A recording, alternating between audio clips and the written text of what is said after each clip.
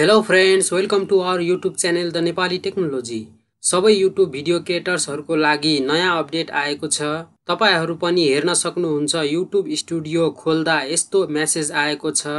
Starting on twenty nine July two thousand twenty two channels will no longer be able to hide their subscriber count on YouTube यो सबै युट्युबरहरूले जान्नै पर्ने धेरै ठुलो update हो।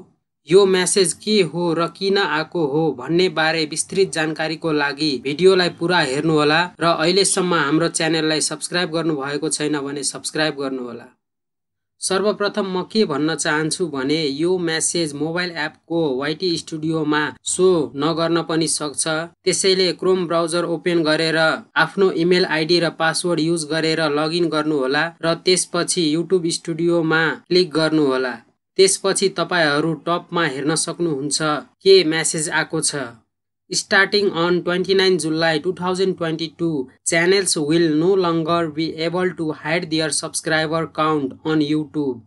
यसको अर्थ ज जसले आफ्नो च्यानल बनाउनु भएको छ र यदि सब्सक्राइबर काउन्ट हाइड गर्नु भएको छ भने सन् दुई हजार बाइस जुलाई उन्तिस विक्रमसम्म दुई हजार उनासी साउन तेह्र गतेदेखि सब्सक्राइबर काउन्ट हाइड गर्न सक्नुहुन्न।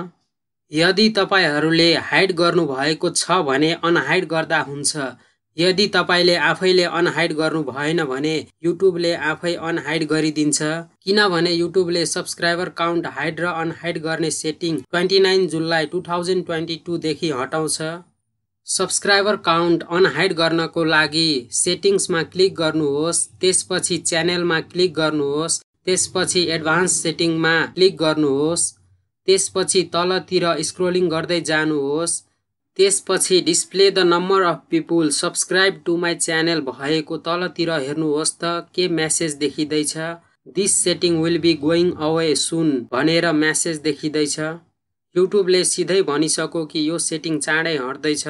सब्सक्राइबर काउन्ट अनहाइड गर्नको लागि display the number of people. Subscribe to my च्यानलको छेउमा रहेको बक्स यदि अनचेक छ भने बक्समा क्लिक गर्नुहोस् र त्यसपछि सेभमा क्लिक गर्नुहोस्। तपाईँहरूलाई यो भिडियो कस्तो लाग्यो कमेन्ट गर्नुहोला र भिडियो मन परे लाइक र सेयर गर्नुहोला। धन्यवाद।